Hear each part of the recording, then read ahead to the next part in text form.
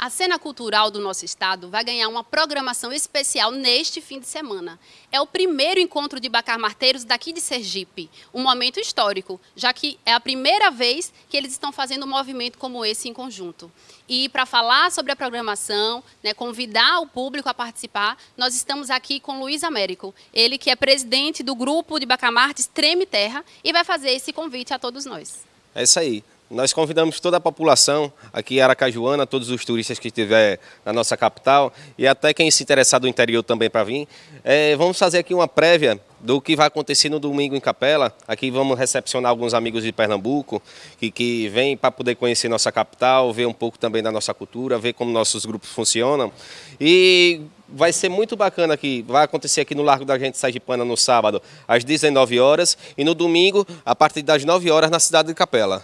Então vamos falar agora com o Marco Antônio, ele que faz parte do grupo de Bacamartes lá em Capela e vai estar recepcionando todas as pessoas que vão participar desse encontro no domingo. Não é isso mesmo, Marcos? Como é que vai funcionar o domingo, a programação e aonde é que as pessoas vão se dirigir para poder participar do encontro? Isso mesmo. É, no domingo, às 9 horas da manhã, vai dar início a abertura do primeiro encontro de bacamarteiros do estado de Sergipe.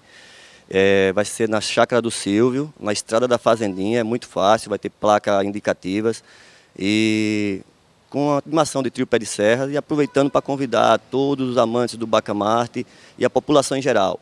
É gratuito, não paga nada, a cultura é nossa. Convido a todos vocês a estar lá junto com a gente. E a gente viu que, na verdade, vai ter a participação de pessoas de Pernambuco, não é isso? Então, eu queria saber como é que se deu esse intercâmbio, né? E como é que você vê essa participação, né? Essa, essa, essa, essa ampliação da cultura Sergipe e Pernambuco no encontro que vocês vão realizar. Exatamente. Nós pegamos, é, eu junto com alguns colegas do grupo, decidimos ir até Pernambuco para poder se interagir mais da nossa cultura.